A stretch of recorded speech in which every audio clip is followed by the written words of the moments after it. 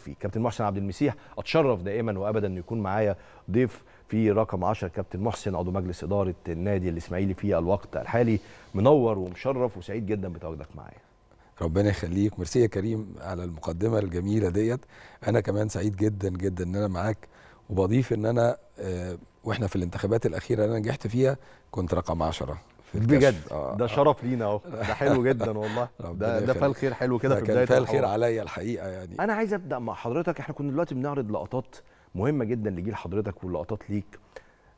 وأجيال عظيمة للإسماعيلي طول الوقت. يعني جيل بيسلم جيل بيسلم جيل. مفيش جيل للإسماعيلي. يعني بنقول مثلا الجيل بتاع حضرتك ده جيل ذهبي في جيل ذهبي جه بعديه وبعديه وبعديه. وبعديه بالظبط. إيه اللي. عطل إيه اللي عطل العملية دي؟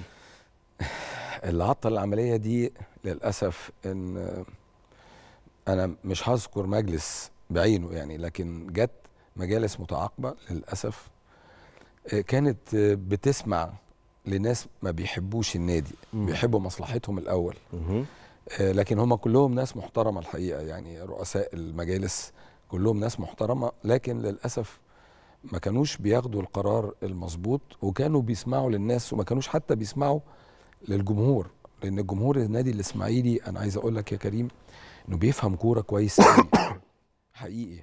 ومحدش يعرف يضحك عليه. صحيح. بيبقى عارف الصح من الغلط. عارف الكويس من الوحش.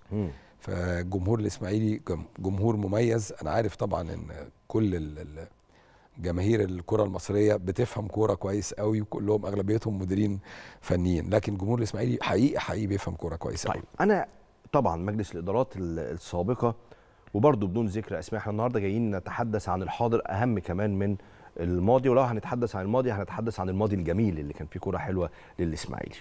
الإسماعيلي عادة كان بيطلع لاعبين ناشئين رائعين جدا وزي ما كنت بقول في المقدمة مش بس بيفيدوا الإسماعيلي بي- بيفيدوا باقي الأندية اللي في مصر وبيفيدوا طبعا منتخب مصر. حتى دي حاسس إن فيها قصور بقاله سنوات صحيح الإسماعيلي في الفترة الأخيرة شفنا كام اسم صغير رائع جدا بس بقاله فترة مش هو الاسماعيلي اللي بيطلع مواهب عظيمة.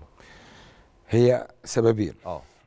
السبب الرئيسي إن مفيش في قطاع الناشئين ساعتها مدربين كواليفايد مدربين أكفاء ولهم القدرة إن هم يطلعوا لعيبة كويسة. بالظبط. فدي نقطة كانت مهمة جدا جدا. السبب الثاني إن لما بيكون في لعيبة كويسة مفيش مديرين فنيين عندهم الجرأة الجرأة إنه يزق بيهم. فدايما بيبص على إن عايز لاعب يجيبه من بره. لاعب جاهز.